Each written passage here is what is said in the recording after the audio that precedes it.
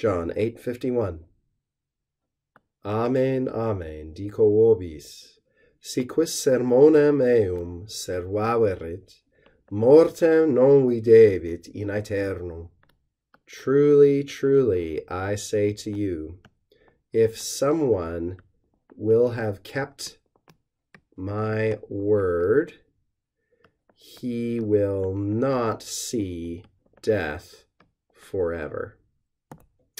I translated this verse relatively literally because of our future perfect form here, but not necessarily idiomatically in English, and I'll explain why in a moment.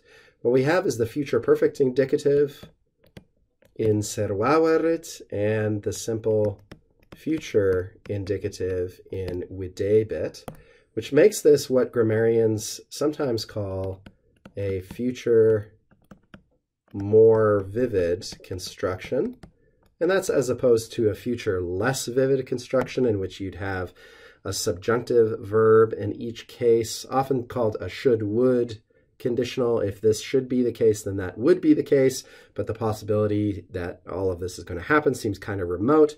That's not what we have here. We have a case where these things are presented as certain facts. If this thing happens first, this thing will happen later. And the use of the future perfect underlines for us here that the speaker means to indicate that the verb in the protasis, that is the, the if clause, the first clause in the two clause conditional, every conditional has two clauses, of course, the if and then the then, so to speak, although of course lots of different variations are possible. That's the basic structure. So in that first clause, the protasis, if you use the future perfect indicative, you're saying, if this will have happened first, then this second thing will follow as a natural or inevitable result. Now, this is obscured in English because in English we tend to use simply the present indicative to translate sentences like this. So in English, we say,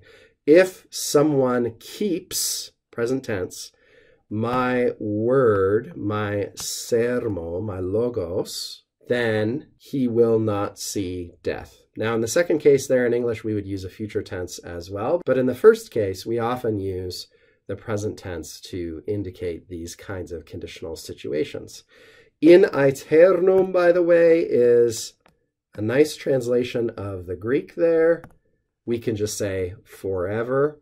Or, as most English translations do, we can sort of transpose this and say, by reversing the meaning, he will never see death. Of course, in English, we would not say, he will not see death forever. We would say, he will never see death, more idiomatically. And at the beginning, though we skipped over it lightly, this is that famous truth telling idiom that we associate so rightly with Jesus' speech in this gospel Truly, truly, I say to you. These are statements worth paying attention to.